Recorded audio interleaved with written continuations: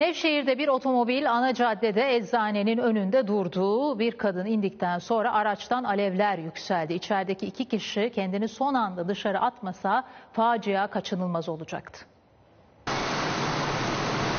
Aniden alev aldı, içindeki iki kişi can havliyle kaçtı.